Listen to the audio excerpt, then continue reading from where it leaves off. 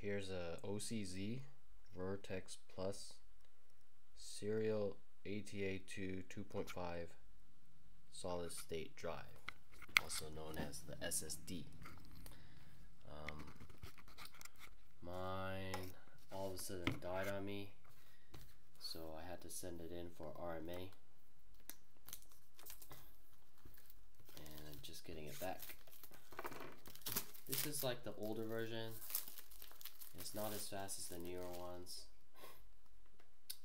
But it's still got like three two 250 megabytes a second read and write. But when looking at like thousands of photos or large files, the seek times are I mean it's like day and night. On a hard drive it'd take like minutes to load, but here on the SSD it's instant. Comes in its own protective case. Comes with a little sticker. Just uh, like it's very small.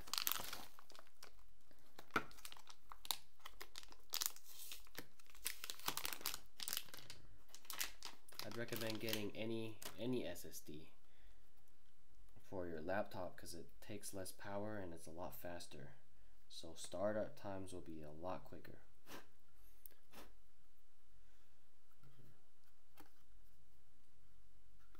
I mean, if you have to have more space, they have newer ones. They're like uh, 250 or 500 gigabytes, and you can always stack two of them together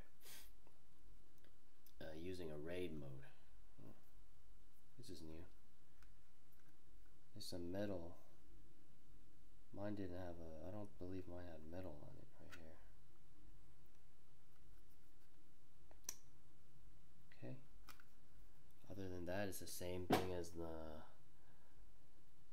the one I the one I had before.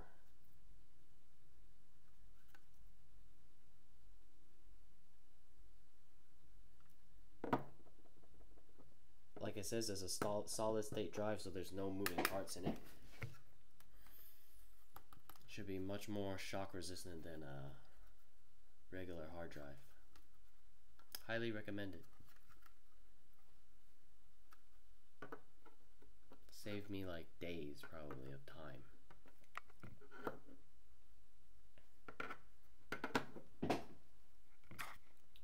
Okay, if you need one, uh, get one.